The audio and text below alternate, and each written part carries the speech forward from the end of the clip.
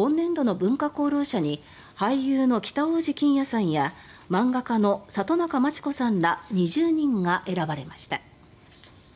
報告を受けた時は本当にびっくりしました。えー！って言ってましたね。支えてくださった方々。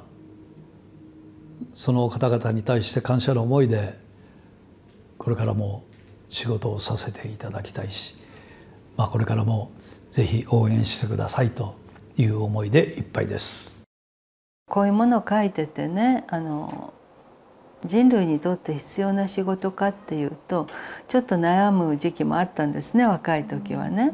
どこかで誰かが自分のを読んであの頑張ってあの生きていこうとかねあのあ人生って捨てたもんじゃないとかそういうふうに思ってくれたら。一方文化勲章には元日本サッカー協会会長の川淵三郎さんら7人が選ばれました。